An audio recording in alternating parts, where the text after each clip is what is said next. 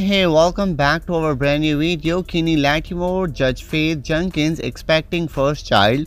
The pair were married in late 2020. Looks like everything is well with singer Kenny and his wife Judge Faith Jenkins. According to the Jasmine Brand, the couple are expecting their first child together. The couple shared the joyous news on Instagram with a photo of them together, smiling with Jenkins supported her growing baby bump. Faith and I are so happy and they share that they're expecting a little boy, little more, and Lattimore wrote in the caption of his IG post, We are so excited for this next chapter of our lives. Faith is the dream to do life with you every day, and you are going to be the best mother.